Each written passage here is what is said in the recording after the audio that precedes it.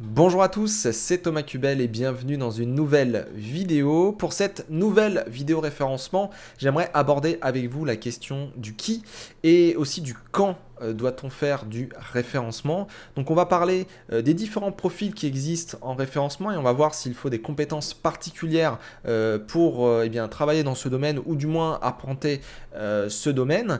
Et puis nous irons aussi sur la question du quand parce que j'ai beaucoup de personnes qui me disent voilà je suis dans tel ou tel domaine, telle ou telle thématique et voilà je ne sais pas si le référencement est un bon levier pour moi, si c'est le bon moment de l'utiliser et si je dois faire quelque chose en, particulier avec.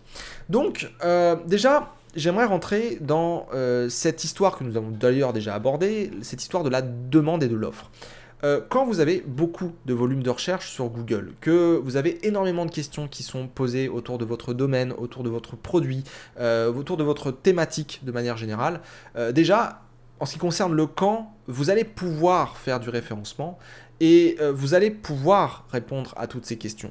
Maintenant, ce qui va vous bloquer en termes de, timing Est-ce que c'est le bon moment? C'est euh, est-ce que vous avez le budget pour faire du référencement? Est-ce que j'ai du budget pour faire des contenus? Est-ce que j'ai du budget pour faire le, éventuellement des corrections sur le site? Est-ce que j'ai du budget pour pouvoir euh, acheter peut-être euh, des backlinks, faire une stratégie de, presse ou je ne sais quoi? tout ça, ça coûte cher. Toute la pyramide SEO qu'on a vu dans une précédente vidéo, technique, contenu, popularité, ces trois piliers du référencement qui constituent des centaines et des centaines de critères en SEO qui permettent euh, d'avoir une visibilité, euh, tout ça, ça coûte cher au fur et à mesure du temps. Donc, si vous avez beaucoup de demandes, si vous avez beaucoup de requêtes autour de votre domaine, etc., euh, vous pouvez faire du référencement et les seules choses qui vont vous bloquer, c'est vraiment le budget, les ressources humaines, les ressources matérielles, globalement. Donc, il faut vous poser la question, qu'est-ce qui coûte le moins cher aujourd'hui et qui va me faire évoluer le plus Est-ce que c'est le SEO ou est-ce que au contraire le SEO c'est trop cher et il vous faut plutôt aller sur la publicité, sur euh, du social media ou euh, aller dans des salons ou quoi que ce soit d'autre. Donc ça c'est pour les personnes qui ont un domaine, une thématique, un site avec quand même pas mal de demandes de manière générale. C'est-à-dire c'est un domaine qui est euh, relativement connu. le SEO c'est quelque chose qui est niché par exemple comme domaine mais il y a quand même du volume. Euh, pantalon femme, là il y a énormément de demandes. Vous allez dans la parentalité, c'est un puissant fond avec euh, des questions, on ne sait même plus quoi en faire. quoi. Euh, maintenant, prenons l'autre exemple. L'autre exemple qui est bah, justement la personne qui ne sait pas forcément si il y a de la demande ou même bah, elle n'a pas de volume sur le nom de son produit ou du moins sur la partie transactionnelle. C'est-à-dire quelqu'un qui veut acheter le produit, bah, ouais, il y a deux personnes qui savent peut-être que ça existe, euh, ou euh, ouais, on ne sait pas. Voilà, c'est une startup qui a une solution innovante, c'est un outil en ligne qui répond à tout un tas de, problématiques, mais en même temps, voilà, on ne sait pas qu'il existe. Comment on fait en référencement? Alors, il y a toujours cette question des ressources matérielles, des ressources humaines, qu'est-ce qui coûte le moins cher et qui fait évoluer le plus. Mais surtout, avant, il faut essayer de voir quelle stratégie on pourrait imaginer, comment on peut être créatif pour attirer du lead. Et donc, pour ce faire, je vais vous montrer un exemple très rapidement, là, en quelques minutes, pour que vous puissiez saisir comment je m'y prends. Prenons l'exemple de cet outil. Cet outil, vous ne le connaissez probablement pas. Euh, vous allez peut-être me dire que c'est un outil pour sculpter, vous aurez raison. Euh, vous allez peut-être me dire que c'est une, hache, mais ce n'est pas une hache. Cet outil, c'est une herminette. La herminette, c'est utilisé par euh, des tonneliers, c'est utilisé par des charpentiers, c'est utilisé par des sculpteurs sur bois, et ça permet euh, de tailler euh, en tirant vers nous, si je puis dire, et ça permet de creuser. Euh, par exemple, vous prenez les personnes qui créent des djembés, des instruments de musique, eh bien, ils vont tailler dans un bois exotique un trou et ensuite ils vont essayer de faire une forme, ils vont mettre une peau, je crois c'est une peau de chèvre, et puis ils vont faire du djembé bah, sur le djembé, tout simplement. maintenant pourquoi je vous parle de ça? C'est que la herminette, est-ce que vous connaissiez Est-ce que vos amis connaissent Est-ce que la majorité des gens connaissent? Pas vraiment. Donc comment on fait quand on vend des herminettes, qu'on est le spécialiste des herminettes, on a toutes les tailles, toutes les formes, les différentes essences de bois, les différents matériaux, etc., le métal euh, un petit peu différent. Comment on fait quand on est éditeur de site et qu'on veut vendre des herminettes? Eh bien, la première question qu'ils vont vous poser déjà, c'est quand je tape le nom de mon produit, est-ce que Google déjà le connaît? Là, effectivement, c'est le cas. Il sait ce que c'est une herminette. Il propose même des annonces. Donc là, déjà, on peut se dire, euh, oui, on peut faire de la pub. Euh, on voit qu'il connaît, donc on peut quand même faire un peu de référencement sur euh, le mot Herminet, on peut essayer de expliquer ce que c'est et pourquoi pas aussi en vendre, puisqu'on voit qu'il y a certaines boutiques ici, donc là il y a une SERP avec plusieurs intentions quand même, c'est assez généraliste. On peut essayer de creuser un petit peu, hein. on tape Herminet, euh, voilà, on voit qu'il y a outils, on voit qu'il y a Laurent Merlin, on voit qu'il y a Herminet de Charpentier, etc. Donc il y a quand même une ébauche de stratégie à faire. Mais quand on va dans des outils de recherche de mots-clés, et notamment SEMrush, quand je tape Herminet, et eh bien malgré qu'il n'y ait pas de concurrence et que c'est facilement atteignable et qu'il n'y ait pas beaucoup de CPC et tout, euh, ouais, on est quand même sur des volumes qui ne sont pas énormes. On est quand même sur quelque chose d'assez niché. Et donc on va pouvoir capturer un petit peu de trafic, on va pouvoir en vendre peut-être quelques-unes, mais comment on fait pour vraiment faire beaucoup de chiffres d'affaires, beaucoup de bénéfices si on est expert de la Herminet et qu'on doit en vendre du coup des euh, dizaines, des centaines, des milliers pour être rentable euh, chaque année eh bien, c'est là justement où vous pouvez être créatif. Et là, je m'adresse vraiment à toutes les personnes qui n'ont pas forcément beaucoup de demandes et qui veulent essayer d'attirer euh, de manière maligne des gens via d'autres domaines. Prenons donc cette euh, exemple de la herminette. La herminette, je l'ai dit, c'est pour les tonneliers, c'est pour les sculpteurs sur bois, c'est pour les charpentiers, c'est pour les gens qui font des djembés, c'est pour tout un tas de gens qui veulent tout simplement taper dans du bois, essayer de sculpter des choses, essayer d'avoir une précision avec un outil euh, adapté plutôt qu'une euh, hache qui est du coup dans l'autre sens. Eh bien, ce que vous pouvez faire, c'est faire un espèce de cœur qui est euh, sur votre site euh, la vitrine. Donc je vends des herminettes, j'ai toutes les tailles, j'ai tous les types de herminettes, vous pouvez choisir l'essence de bois. Vous faites vraiment la partie vitrine déjà de base pour essayer de vendre, etc. Peut-être que vous toucherez ces premières requêtes là, mais on a dit c'est pas suffisant. Donc essayez d'aller plus loin. Essayez de vous dire euh, qu'est-ce qui est important, disons, pour les gens, pour qu'ils puissent ensuite tomber sur la herminette et éventuellement l'acheter Eh bien, vous prenez le tonnelier. Le tonnelier, il va faire des recherches sur son métier. Il va essayer de voir les différents outils qui existent, les différents outils utiles. Peut-être que également, il va essayer de voir les étapes par étapes, les différentes techniques euh, pour fabriquer les tonneaux, les différents types de tonneaux, etc. Et à un moment, il va se dire ah tiens, il y a la question du bois. Comment je peux faire pour tailler correctement dedans?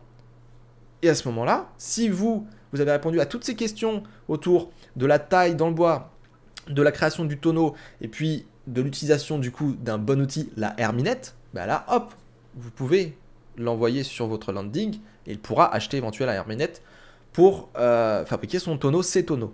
Donc ça c'est plutôt intéressant déjà, vous touchez euh, le métier tonnelier. Ensuite, vous avez les sculpteurs sur bois. Les sculpteurs sur bois, ils vont avoir différents types de herminettes, différentes tailles, différentes euh, formes, etc., différentes essences de bois, je ne sais pas, longueur, euh, largeur, je ne sais pas. Et ces sculpteurs de bois, ils s'en foutent de herminette. Je veux dire, c'est un outil comme un autre, et peut-être qu'ils le connaissent, peut-être qu'ils ne connaissent pas, mais si vous voulez leur en vendre, il faut que vous alliez, en quelque sorte, euh, toucher leur domaine. Donc, la sculpture sur bois.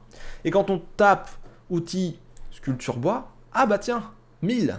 Et puis là, 390 électrique, bon, on n'est pas trop concerné, mais outils de base sculpture sur bois, outils sculpture bois euh, débutant, outils de sculpture bois sur professionnel, bah là on parle même pas d'herminette, on parle d'outils de sculpture sur bois, et on amène les gens vers la herminette.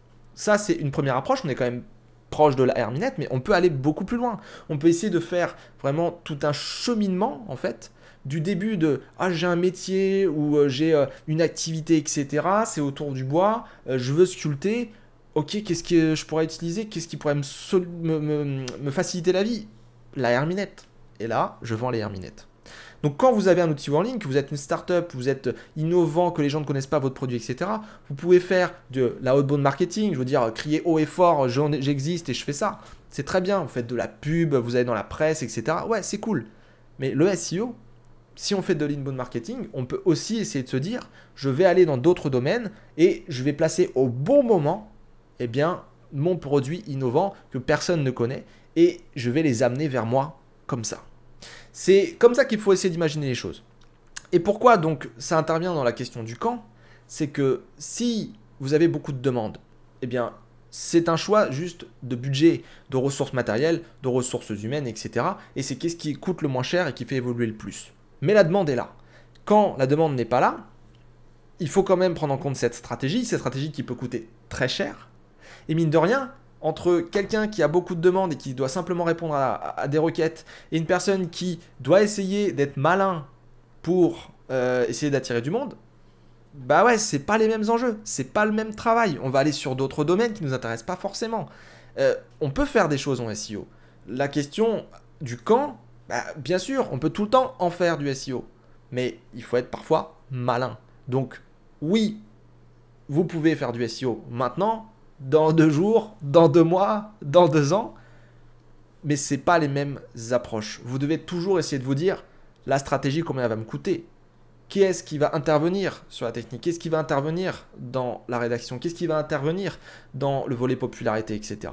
Parce que c'est tout ça, tous ces devis que vous allez demander, etc., qui vont vous faire finalement, bah, j'ai besoin de tant de ressources matérielles, j'ai tant besoin de ressources humaines, et ouais, là ça coûte cher, faut peut-être mieux que j'aille sur la pub, faut peut-être mieux que j'aille sur un autre levier qui va me coûter moins cher et qui va me donner des résultats peut-être plus rapidement. Mais souvent, souvent mine de rien, le SEO est un investissement long terme et euh, même dans le cas voilà, de la Herminette, je peux vous assurer que c'est beaucoup plus rentable que certains autres leviers qui, au premier abord, on pourrait se dire ouais, ça va me coûter quand même moins cher. Mais le SEO reste quand même dans le temps. Donc il faut quand même prendre en compte cette histoire de long terme parce que euh, c'est pas toujours bien compris. Et la pub, quand vous arrêtez de payer, vous avez plus de pub. Quand vous faites du SEO, peut-être vous payez plus cher, mais sur le long terme, ça reste quand même beaucoup plus. Donc, essayez de peser le pour du contre. Qu'est-ce qui coûte le moins cher? Qu'est-ce qui me fait évoluer le plus? Faites le poids sur les leviers. Prenez en compte la demande ou la non-demande, faites une rapide ébauche de stratégie, voyez combien ça coûte, essayez de faire des devis à droite à gauche, machin. C'est l'audit, normalement, qui euh, sert à tout ça, et c'est toute l'étude du projet qui va permettre de faire la bonne stratégie. Et normalement, après, vous serez en capacité de dire, ok, c'est le bon timing pour faire du SEO. Donc ça, c'est la question du quand. Très longue réponse, mais j'espère avoir apporté quand même pas mal d'informations. La question du qui maintenant. La question du qui, elle est plus simple. Euh, vous n'avez pas besoin d'avoir un profil particulier pour faire du SEO. Voilà, j'ai répondu globalement à la réponse, à la question qui peut faire du SEO. Tout le monde peut apprendre du SEO, c'est un métier comme un autre. Vous n'avez pas besoin de venir de la technique, vous n'avez pas besoin de venir du marketing, vous n'avez pas besoin de venir euh, du monde de la création de contenu, de la vidéo, je ne sais quoi, pour faire du SEO. Vous n'avez pas besoin d'être chercheur. Je vais vous dire, moi, à la base, je devais être pyrotechnicien. Au bout d'un moment, je me suis dit non, je ne ferai pas ça. Je suis allé faire des études d'électricité. J'ai appris un petit peu la logique dedans. Et ensuite, je suis allé au CNAM pour faire un tronc commun sur la création de sites web. Et c'est là où j'ai redécouvert le référencement, que j'avais découvert euh, quasiment 10 ans avant, euh, comme ça, par hasard. Et, euh, et j'ai commencé à apprendre un peu plus, et encore un peu plus, et encore un peu plus le référencement. À me passionner pour le truc, à faire des tests, à acquérir de l'expérience, à récupérer un max de voilà, problématiques et les solutions qui vont avec. Donc, au fur et à mesure du temps, je me suis forgé. Et donc, c'est en forgeant qu'on devient forgeron. Le SEO, c'est pareil. Il n'y a pas besoin d'être. Euh, oh arrêtez avec ces, ces limites là, ces, espèces de, de, croyances limitantes qui, qui vous disent Ah, je suis trop vieux pour faire ceci. Oh, ah, non, c'est les petits genoux qui maîtrisent l'informatique, pas moi. Vous pouvez faire du SEO. C'est du bon sens, c'est de la logique. Après, c'est toujours mieux d'avoir un background technique. Parce que quand on prend, justement, je voulais préparer pour l'occasion, quand on prend la pyramide du SEO, eh bien, la partie technique, c'est le socle. Comprendre les éléments de base niveau technique, c'est bien pour checker que c'est bien fait et ça vous permet d'avoir justement une bonne infrastructure fiable et évolutive. Donc, vous n'avez pas besoin d'être développeur, vous n'avez pas besoin de créer vos propres sites, etc. Vous pouvez déléguer toutes ces choses-là à des gens, mais vous devez au moins pouvoir comprendre bah, ce qu'est un hébergement rapidement, un nom de domaine, euh, tiens, comment on fait pour changer le robot.txt, voilà, c'est un truc assez simple. Euh, est-ce que l'indexation se passe bien? Est-ce que le crawl se passe bien, etc. Au fur et à mesure, vous allez apprendre de toute manière. Mais vous devez essayer de saisir à peu près de quoi on parle. Il ne faut pas non plus aller trop loin pour pas devenir référenceur, sauf si vous voulez le devenir. Mais il faut pas non plus écarter tout le truc et dire vas-y, c'est bon, c'est ton métier, c'est pas le mien.